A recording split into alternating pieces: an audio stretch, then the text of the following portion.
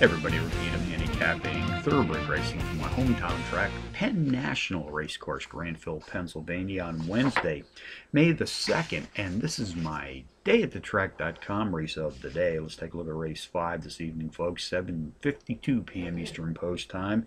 Mile test on the dirt. Four year olds and up race for an allowance prize of some $36,000. Contenders number 9, Halton Gully.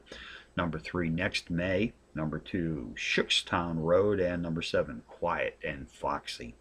Number nine, Halton Gully is the overall speed leader in this allowance field, racing at tonight's distance of a mile on the dirt, has produced power run performances in five straight starts, hitting the board in three of those adventures, winning twice in this recent streak of racing consistency.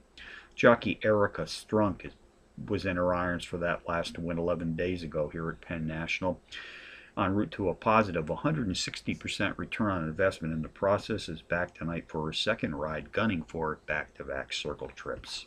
Number three next May, a 9 to 2 shot, drops in class by 8 Trackmaster units, has also turned in power run performances in 5 straight, hitting the board in a pair.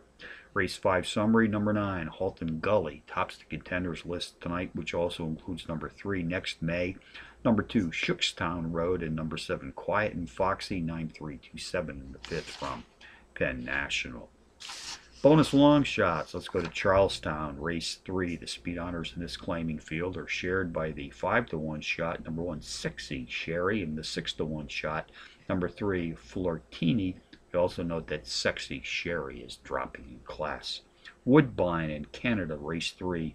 Number three, One Big Gator, 4-1 on the morning line, drops in class by six units. It's the speed leader in this allowance field, racing at or about tonight's distance of eight and a half furlongs on Woodbine's cushion dirt track. So from Penn National on a Wednesday night, I'm Rick Needham for dayatthetrack.com. Reminding you always to please bet with your head, not over